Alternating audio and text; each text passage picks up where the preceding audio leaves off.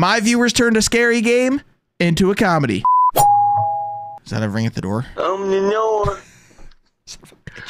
As always, this last trash pile here, something bad's gonna happen. I just know it.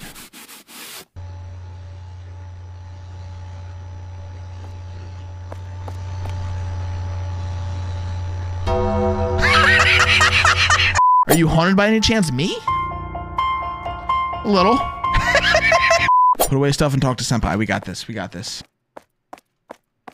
Are you in here? Oh! What are you doing, step bro? Are you good? Need some toilet paper or something? Ah! Ah! What'd I do? he said he scared the shit out of me. He's in the bathroom. Why is it spicy?